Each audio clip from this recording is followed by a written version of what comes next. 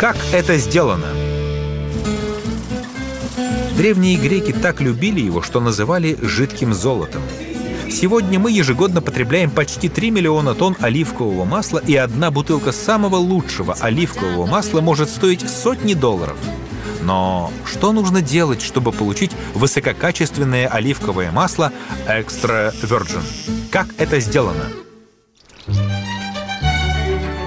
Тоскана один из красивейших регионов Италии, славится своей живописной архитектурой, небольшими горными фермами и бесчисленными оливковыми рощами.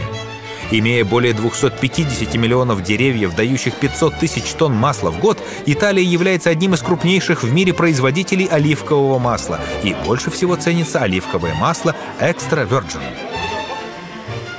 Люди делают оливковое масло уже 5000 лет и в течение веков самое лучшее масло производится здесь. Среди холмов Поджо, близ Сан-Доната, расположена фаттория Ди Монтеккио. Эта историческая тосканская ферма окружена 20 гектарами оливковых рощ. Сейчас ранняя осень, и деревья гнутся под тяжестью фруктов. Да-да, фруктов. Оливки — это фрукты, а оливковое масло — оливковый сок.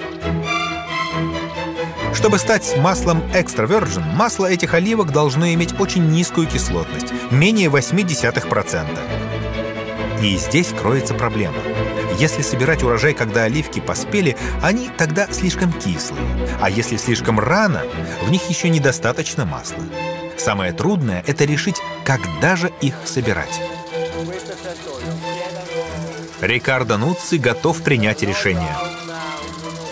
Оливковое масло более низкого качества используют не только в пище, но и в косметике, фармацевтике, для изготовления мыла и даже как горючее. Но Рикардо хочет, чтобы эти оливки превратились в высококачественное масло Extra Virgin. Не так важно, чтобы оливки полностью созрели. Нам нужна хорошая мякоть. Тогда мы получим масло лучшего качества с нужным вкусом ароматом. Когда начинается сбор урожая, важно собрать оливки очень быстро. Чем дольше они будут лежать после сбора, тем хуже они станут. Поэтому сборщики растягивают сети для ловли оливок. Нельзя терять ни секунды.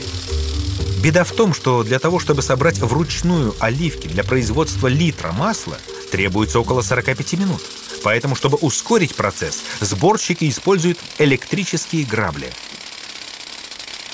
Эти многолопастные инструменты могут очистить дерево за несколько минут, что ставит перед Рикардо еще одну проблему.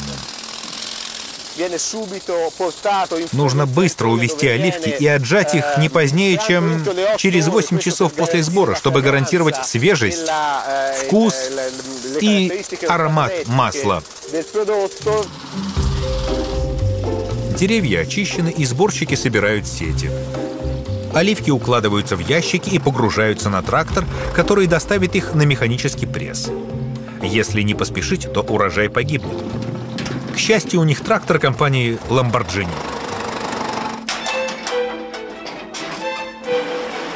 Оливки высыпаются в накопительную цистерну. Теперь нужно отжимать масло.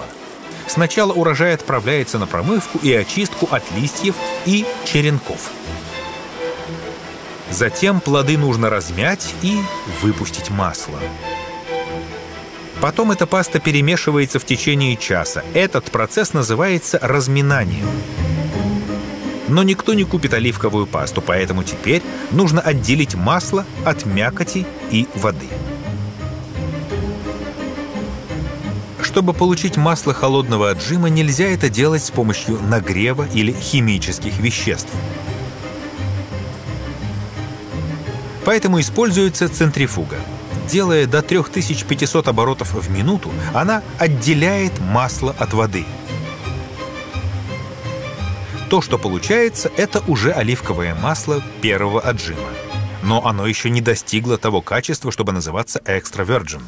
Поэтому его оставляют на две недели в покое, пока все примеси не осядут на дно. И, наконец, момент истины. Насколько это масло отвечает требованиям экстра virgin? Ванесса Хелт – эксперт-дегустатор оливковых масел. Она подвергает это масло целой серии проверок на кислотность, цвет и вкус. Оно очень насыщенное, очень-очень насыщенное, очень зеленое, очень сильное, очень ароматное. У меня даже немного першит в горле. Очень вкусное. Это успех. Но проблемы не закончились. Ультрафиолетовые лучи могут окислить оливковое масло и сделать его прогорклым.